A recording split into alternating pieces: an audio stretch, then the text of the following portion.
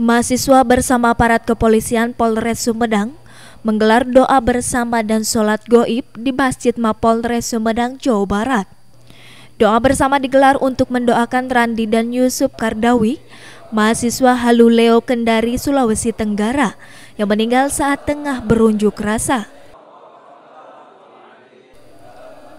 Kapolres Sumedang AKBP Hartoyo mengatakan, Doa bersama digelar sebagai bentuk keprihatinan dan bela sungkawa atas meninggalnya mahasiswa di Sulawesi Tenggara. Wajibnya kita mendoakan orang. Kemudian yang kedua adalah sebagai wujud eh, kita ikut berduka atas meninggalnya rekan mahasiswa yang ada di Kendari pada saat tanggal 24. Ya, itu. Kemudian yang selanjutnya adalah kita mendoakan seluruh bangsa ini supaya tetap damai. Kemudian kita juga tadi mengundang eh, rekan-rekan dari PMI ini adalah sebagai salah satu wadah atau sarana untuk bersilaturahmi.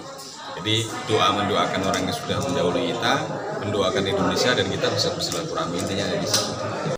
Ketua Komisariat PMII Unsap Aziz Maulana Malik berharap kita harus bisa terus bersinergi dengan pihak kepolisian telah menghadiri acara yang diselenggarakan oleh Polres ini.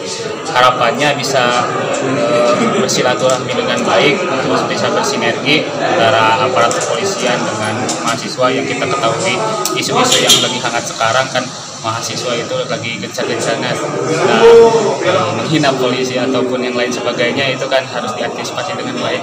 Nah, PMI harus menjadi garda terdepan yang ada di sana mungkin e, terus yang lain sebagainya dari aliansi juga kan istilahnya kemarin sudah menjalankan demo dengan baik bersama Bapak sendiri.